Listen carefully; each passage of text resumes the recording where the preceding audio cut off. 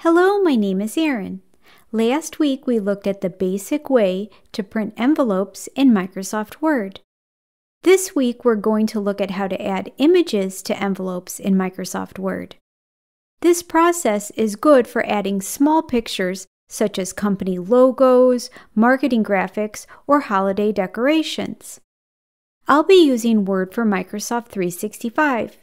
These steps also apply to the recent non subscription versions of the software.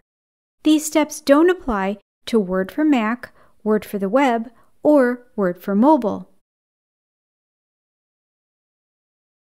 To add an image to an envelope, begin by opening a new blank document. Then select the Mailing tab in the ribbon, followed by Envelopes in the Create group. When the Envelopes and Labels dialog box appears, enter the recipient's address or placeholder text into the delivery address text box. Next, enter the return address or placeholder text into the return address text box. You can also select Omit if you don't want to include a return address.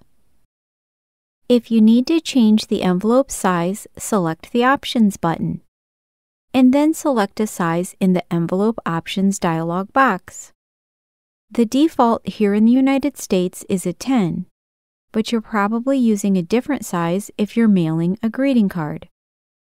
Note that from this dialog box, you can also change the position of the addresses.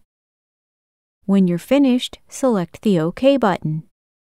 And then select the Add to Document button. And select the Yes or No button in the dialog box asking if you want to save the return address as the new default. The envelope should now appear above the blank document. To insert the image, select the Insert tab, followed by Pictures from the Illustrations group. Note that you can also choose to insert a shape or icon. Next, select the location of the image from the drop-down menu. Today we'll be inserting an image from this device. When the Insert Image dialog box appears, locate and select the image and then select the Insert button. The image should appear on the envelope. And you can use the handles to resize the image as necessary. To move the image, select the Layout Options button, and then select any of the Wrap Text options other than Inline with Text. The square or tight options will be the best choice for most users.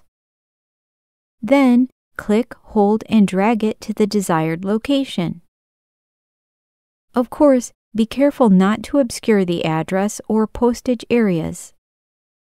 I've provided a link in the description box below to the United States Postal Service's Domestic Mail Manual, which outlines envelope regulations. If you'd like to change the appearance of the return or recipient's address, select the relevant text, you will automatically switch to the Home tab. From there, you can choose a new font, size, or color.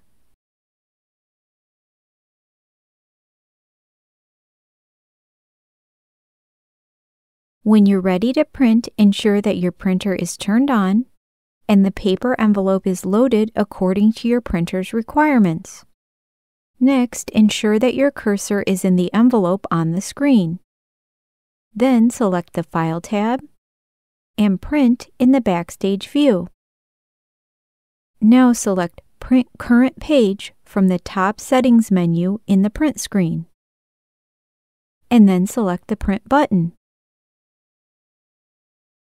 If you want to reuse this envelope in the future, save the file using your normal saving method, and then enter the new recipient's address every time you open the file. All the steps we just performed are listed with images on my website at erinwrightwriting.com, which is linked in the description box below, along with my playlist, How to Use Microsoft Word, where you'll find many related tutorials, including how to create printable address labels with images in Microsoft Word. Feel free to leave me a comment if there's a specific topic that you'd like me to cover in the future. And please subscribe to my channel so you don't miss upcoming tutorials. And give this video a thumbs up if you found it helpful. Thank you so much for watching.